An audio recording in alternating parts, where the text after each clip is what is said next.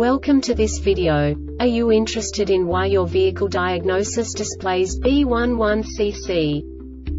How is the error code interpreted by the vehicle? What does B11CC mean, or how to correct this fault? Today we will find answers to these questions together. Let's do this. First, let's look at the history of diagnostic fault code composition according to the OBD2 protocol, which is unified for all automakers since 2000. We divide the electric system of automobile into the four basic units. Powertrain, body, chassis, network. This distribution is defined in the first character code. If the second character is expressed as zero, it is a standardized error. In the case of numbers 1, 2, 3 it is a more prestigious expression of the car-specific error.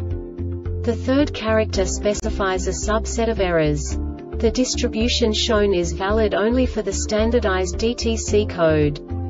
Only the last two characters define the specific fault of the group.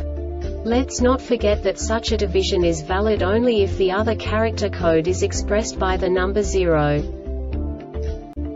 Our website airbagreset.sk produces useful videos for you. You do not have to go through the OBD2 protocol anymore to know how to troubleshoot any car breakdown. You will find all the diagnostic codes that can be diagnosed in a Dodge vehicles. Also many other useful things. The following demonstration will help you look into the world of software for car control units. You unbelievably can move the video a bit further. The error code is split into two bytes consisting of 16 bits. One bit is the basic unit that each computer works with. The bit has two logical states. 0, low level, 1, high level. By combining the first two bits, the basic character of the error code is expressed. The next two beats again determine the second character. The last beat styles of the first byte define the third character of the code. The second byte is composed of a combination of 8 bits. The first 4 bits determine the fourth character of the code. And the combination of the last 4 bits defines the fifth character. A single byte conceals 256 possible combinations. We now know in what way the diagnostic tool translates the received information into a more comprehensible format. The number itself does not make sense to us if we cannot assign information about it to what it actually expresses.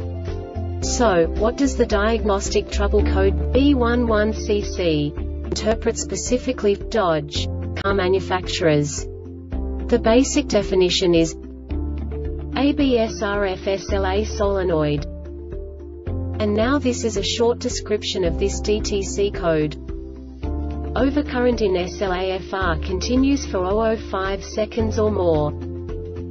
This diagnostic error occurs most often in these cases. Brake actuator assembly SLAFR SLAFR circuit brake ECU The Airbag Reset website aims to provide information in 52 languages.